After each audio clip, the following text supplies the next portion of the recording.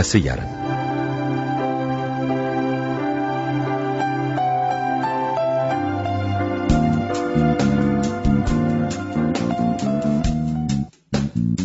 Beyaz noktalı kravat. İkinci bölüm. Yapım ve yönetim Mehmet Köseoğlu. Uyarlayan Beyza Kara. Seslendirme yönetmeni Neslihan Gürgün. Ses kayıt ve montaj Engin Karagöz.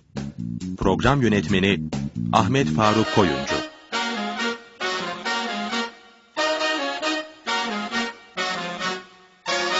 Ünlü tiyatro oyuncusu Esmer Güzeli Şebnem Sayın, hayranlarının elinden kurtulmak için zaman zaman başına sarı bir peruk takarak tebdili kıyafetle Meral kimliğiyle sokağa çıkmaktadır. Fala çok düşkün olan Şebnem bir gün yine Meral kılığıyla gittiği bir barda yeni bir falcının adresini öğrenerek evine gider.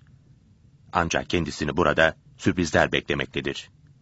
Kemal Mora ve arkadaşı Şebnem'i tuzağa düşürüp çalıştığı tiyatro sahibinden 400 milyar isterler. Şebnem'in sahneye çıkmadığı her gece 15 milyar kaybeden tiyatro sahibi Haldunak, Haydut Kemal'e parayı vereceğini söyler.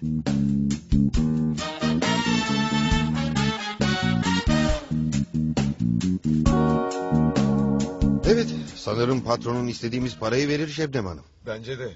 Düşünsene Şebnem Hanım altın yumurtlayan tavuk gibi. Adam bunun sırtından her gece 15 milyar kazanıyormuş. Neden vermesin ki? Merak etmeyin. Haldun Bey istediğiniz parayı verecektir. Yalnız sizden bir isteğim var. Ha, buyurun Şebnem Hanım. İstekleriniz bizim için emirdir. Ee, ellerimle ayaklarımı bağlamanıza bir şey dediğim yok. Lütfen gözümdeki bandı çıkartın. Karanlıktan nefret ederim ben. Ha, çok üzgünüz ama çıkartamayız. Hem bizi görmemeniz sizin için daha iyi olur. Neden? Sizi bir daha gördüğümde tanımayayım diye mi yapıyorsunuz bunu? Hayır, bizi bir daha görebileceğinizi sanmıyorum. Hem görseniz bile tanıyacağınızı sanmıyorum. Niye tanıyamayacakmışım? Adınızın Kemal Moro olduğunu, adresinizin de Demirhan Caddesi'nin o altıda birinci katta oturduğunuzu biliyorum. Siz gerçekten de Kemal Mora adında biri olduğunu tahmin ediyor musunuz? Aa, Ha? Şey... Kapının üstündeki kart sadece sizin için konmuştu ve şimdi kaldırıldı. Serbest bırakıldığınız zaman polis buraya geldiğinde bomboş bir daireyle karşılaşacak.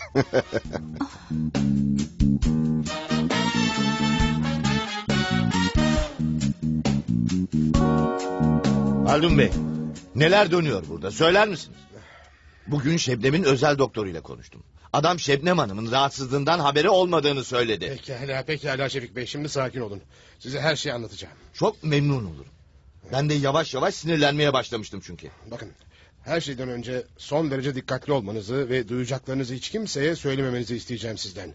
Yoksa söyleyeceğiniz sözler Şebnem Hanım'ın sonunu hazırlayabilir. Beni korkutuyorsunuz Haldun Bey. Ah, Şu duruma bak. Bir gazeteciye en güzel haberi veriyorum ve ondan saklamasını istiyorum. Şebnem'e kötülük getirecek bir davranışta bulunacak kadar aptal olmadığımı bilmenizi isterim. Ah, pekala. İşte hikayenin doğrusu. Şebnem Hanım önceki günkü kavgamızdan sonra bizi yüzüstü bırakıp gitti. Temsilde giyeceği kostümünü beğenmemişti. Eğer eğer bu haber duyulursa ne olur biliyor musunuz? Bir daha kimse Şebnem Hanım'a iş vermez. Peki nerede olduğunu tahmin ediyorsunuz? Ne bileyim ben. Size telefon falan ederse hemen bana haber verin lütfen. Oldu mu? Tabii tabii hemen buraya getiririm. Daha olmazsa her neyse. Hoşça kalın. Güle güle.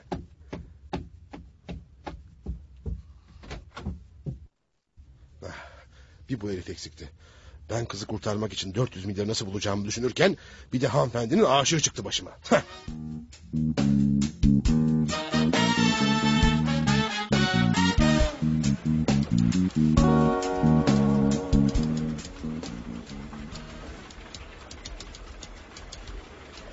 Tamam. Yarınki yazımı hazırladım. Hayri yazımı alıp yazı işlerine verebilirsin. Şebnem'den hala bir haber yok. Böyle kapris yapıp bir yerlere kaçacağını hiç sanmam. Hizmetçisini bir daha arayayım bakayım.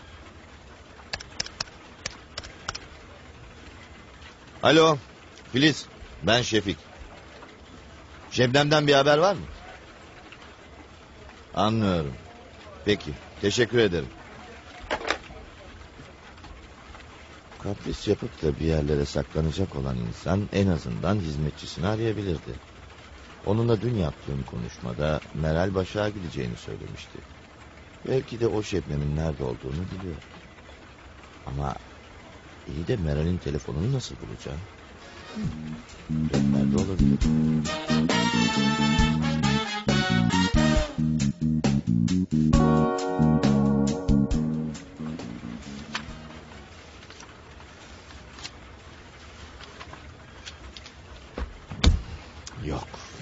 Yok. Meral Başak adında bir telefon kaydı yok. Şebnem onun Gülbahar Caddesi üzerinde iki katlı bir binada oturduğunu söylemişti. Evin altında da bir halıcı dükkanı olduğundan bahsetmişti. Acaba gitsem Meral'in evini bulabilir miyim?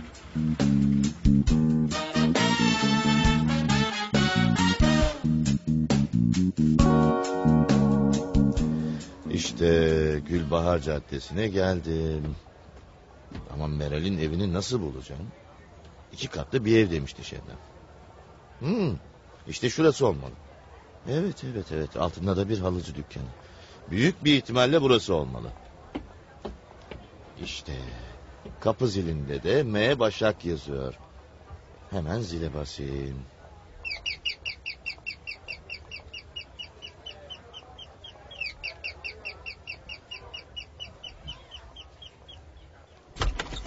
Buyurun ne istemiştiniz? Merhaba. Bayan Meral Başak evde mi? E, hayır yok. E, peki siz kimsiniz? Ben Binnaz. Hizmetçisi olurum. E, Meral Hanım ne zaman gelir eve? Bilmem. Bilmez misiniz? Siz her gün bu evde değil misiniz? Hayır haftada üç gün geliyorum. Ben geldiğimde o gitmiş oluyor. O geldiğinde ben evde olmuyorum. Söyler misin sen bu evde hizmetçiliğe nasıl başladın? Ben bu işi bir ajans aracılığıyla buldum. Aylığımı da ajanstan alıyorum. Peki Meral Hanım'la nasıl karşılaştın? Bir gün geç gelmiştim. Kapı açıldı ve bayan Meral içeri girdi. Beni görünce şaşırmış gibi bir hali vardı. Sadece gülümsedi ve odasına çekildi. Ben de çıkıp gittim. Peki buraya hiç Şebnem Sayın'ın geldiğini gördünüz mü? Bir keresinde geldiğimde bir kadın gördüm. Esmer güzel bir kadındı. Beni görünce şaşırdı. Adını söylemedi. Sadece Bayan Meral'in arkadaşı olduğunu ve kendisinde anahtarı bulunduğunu söyledi. Tamam. İşte sözünü ettiğim Şebnem Sayın o kadın. Peki dün onu buradan çıkarken gördün mü? Gördüm. Çıktı gitti. Ne yana gitti biliyor musun? Şişli tarafına doğru yürüdü. İleride belki de bir taksiye bindi bilmiyorum. Şey bu Meral Hanım nasıl biri? Yani saçları, yüzü demek istedim. Sarışın çok güzel bir hanım. Ama Şebnem sarışın değil ki. Senin gördüğün Meral'in başka bir arkadaşı olmalı. Bilmem olabilir. Şebnem Hanım esmerdir. Ama çok çok güzeldi. Tam bayan Meral'e benziyordu. Binnaz iyi düşün. Meral Hanım'la Şebnem Hanım'ı hiç birlikte gördün mü? Hayır ben ikisini hiç yan yana görmedim. Bak sana bir resim göstereceğim. Bakalım kim olduğunu tanıyabilecek misin? Gösterin. İşte iyi bak.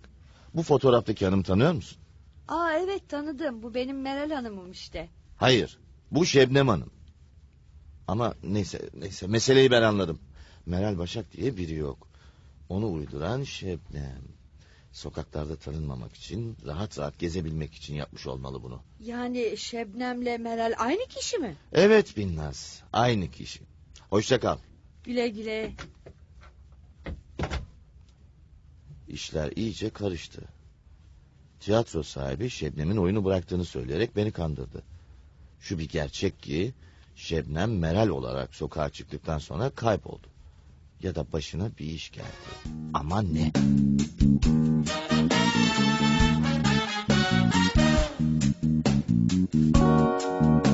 Hayır Şefik Bey. Şebnem Hanım'dan hala bir haber yok. Nerede olduğunu bilmiyoruz. Tamam. Tamam haber alırsam sizi arayacağım tamam. Bu gazeteci de öldürür insanı be. Koyun can derdinde kasap et derdinde. Alo Haldun Bey, benim. parayı hazırlayabildiniz mi? Siz misiniz? Evet. E, bakın şu anda kasamda 200 milyar var. İstediğiniz şekilde onluk küpürler halinde. Bayım sanırım 400 milyar lira diye Ya konuşmuş. biliyorum biliyorum ama hepsini daha hepsini bulamadım. Beni büyük bir hayal kırıklığına uğratıyorsunuz Haldun Bey. Bakın beni iyi dinleyin. Pazarlık edecek değilim. 400 milyar lirayı bekliyorum o kadar. Peki peki peki. Önünüze yakışır biçimde davranın ve parayı bulun. Size her gece 10 milyar kaybettiğinizi hatırlatmak zorunda mıyım? Ha? Yarın öğleye doğru yine telefon edeceğim. Büronuzdan ayrılmayın. Bir dakika bir dakika. Şebnem'le konuşmak istiyorum. Sağlığı yerindedir. Merak edecek bir şey yok. Hayır ben yine de konuşmak istiyorum. Pekala. Bekleyin biraz. Şebnem Hanım buraya gelin.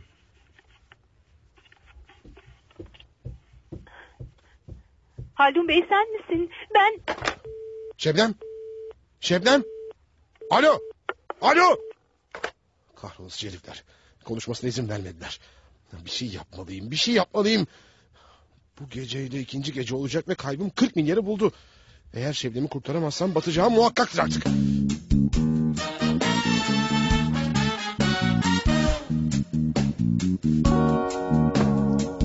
Kahrolası Hakan. İki gündür ne arıyor ne soruyor. Bunun hesabını soracağım ona. Ben onun için geceli gündüzlü çalışıp kazandığımı ona verirken... ...o kim bilir hangi kaltakla aldatıyor beni. Mutlaka, mutlaka Kemal Mora'nın dairesindedir. Şimdi anlayacağım bunu. İyi ki bana evin anahtarını vermişti. Şimdi aniden içeri girip beni kimin aldattığını öğreneceğim.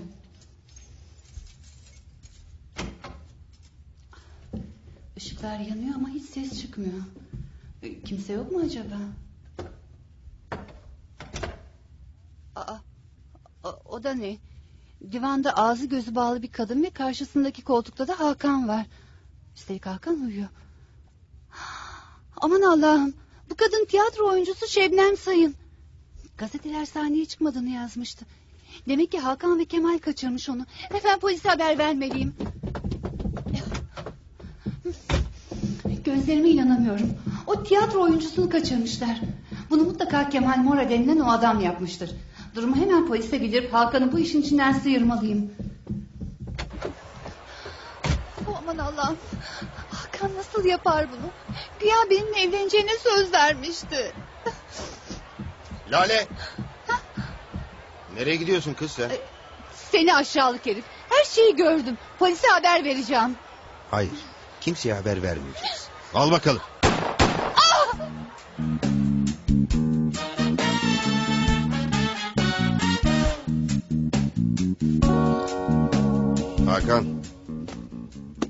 Hakan. Uyan uyan oğlum uyan. Ne var ne oluyor ya? Benimle salona gel. Gel gel. Tamam tamam. Ne var Kemal abi ne oldu? Daha ne olsun sersem herif. Hani bana evimin anahtarını kimseye vermeyeceğini söylemiştin? He? Vermedim ki. E, ne oldu ki? Geri zekalı. Az önce Lale'yi evden çıkarken gördüm. Daha kaç kızda anahtar var söyler misin bana? Ha, Ke- Kemal abi vallahi başka kimsede yok. Bir Lale'de vardı o da kaybettiğini söylemişti. Abi peki Lale'ye ne yaptın? Gerekeni yaptım. Yani onu onu Başka çarem yoktu Hakan. Polise gideceğini söylemişti. anlıyorum abi.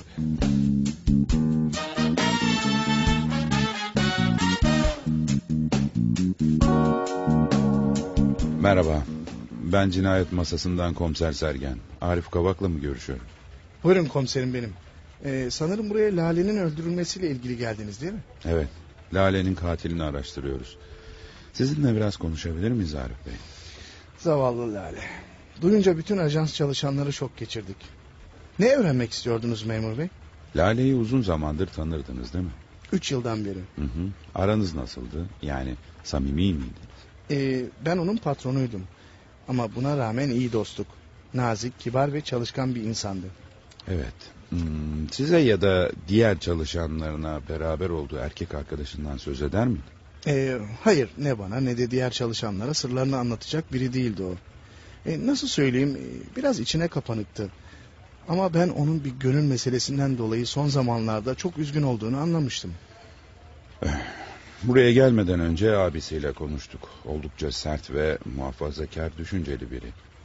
Lale abisinin istemediği biriyle ilişkiye girmiş olabilir mi sizce? Olabilir. Lale hoppa bir kız değildi.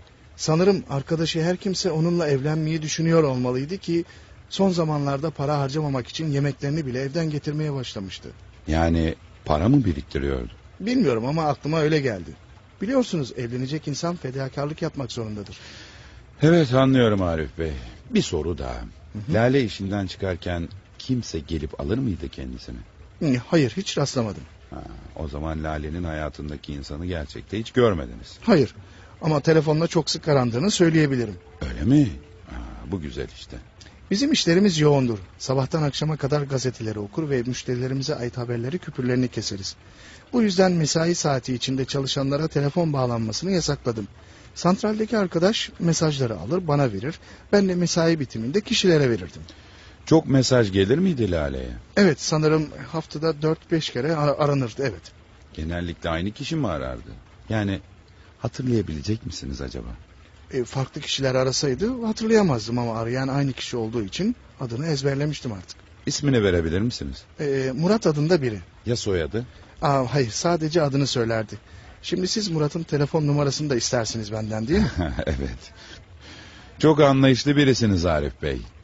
Eğer numarayı verirseniz bize büyük bir yardımda bulunmuş olursunuz. Belki de Murat dediğiniz kişi Lale'nin katili olabilir. Umarım yakalarsınız onu. Çünkü Lale öyle vahşi bir cinayete kurban gidecek kızlardan biri değildi. Şurada bir yerde Murat'ın telefon numarası olacaktı. Hah, buldum işte. Buyurun Murat'ın telefon numarası. Bu kağıtta yazılı. Pekala. Yardımlarınız için çok teşekkür ederim Arif Bey.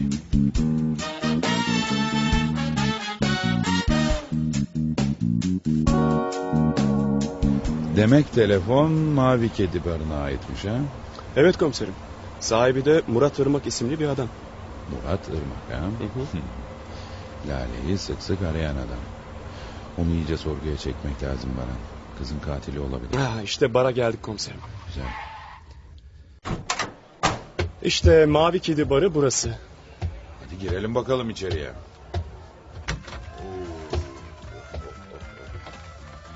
Aa, merhaba. Murat Irmak'ı arıyordum. Buyurun benim ne istemiştiniz? Cinayet masasından komiser Sergen. Bu da yardımcım polis memuru Baran Şahin. Size birkaç soru sormak istiyoruz Murat Bey. Ha tabii tabii buyurun sorun. Ee, komşulardan yine fazla gürültü çıkarttığımız için şikayet mi var yoksa? Ya yok yok hayır hayır. Lale Vural adında bir kızı tanıyor musunuz? Tanıyorum. Yo- yoksa bir şey mi yaptı? Dün gece öldürüldü. Öldürdü mü? Yok canım olamaz. Çok kibar bir kızdı. Ee, size bu konuda nasıl yardımcı olabilirim komiser bey? Çalıştığı şirketine sık sık siz mi telefon ediyordunuz? Hı hı, evet. E, izne çıkan olduğu zaman ya da fazla mesai gerektiği takdirde çağırmamı söylemişti. Kardeşi çok kıskançmış. Onun için evinin değil de çalıştığı yerin telefonunu vermişti. Nasıl yani? Nasıl yani? Lale sizin barda mı çalışıyordu? Evet, garsonluk yapıyordu. Neden bu kadar sık telefon ediyordunuz ona? Ha, bu aralar izne çıkanlar arttığı için ihtiyaç duyulduğunda arıyordum. E, saat kaçta geliyordu bara? Hafta arasında akşamın sekizinden sabahın ikisine kadar çalışırdı. Tabii duruma göre. Müşteri çoğalırsa saat üçe kadar uzuyordu iş. Peki dün gece de sizde çalıştı mı? Evet çalıştı. Saat kaçta çıktı dışarı? Dün gece bana bir şey söylemeden gitti. Ortadan kayboluşunun bir iki saat sonra farkına vardım. Onu izlemediniz mi peki? Neden izleyeyim ki? Ayrıca o kadar müşteriyi bırakıp hiçbir yere gidemezdim. Saat 2'den sonra da sabaha kadar iş yerinde kaldım. Evet anladım. Lale burada ne kadar para kazanırdı? Haftada 150 milyondan az geçmezdi eline. Bu kadar parayı nasıl kazanıyordu?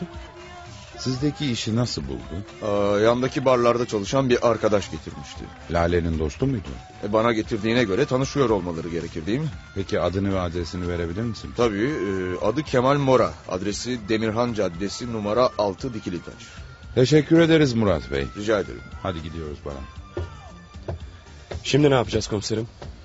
Sen şu Lale'nin abisine bir uğra bakalım.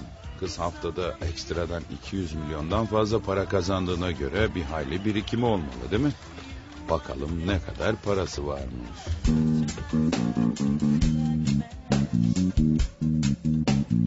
Beyaz Noktada Kravat adlı oyunun ikinci bölümünü dinlediniz. Üçüncü bölümde buluşmak üzere, hoşçakalınız.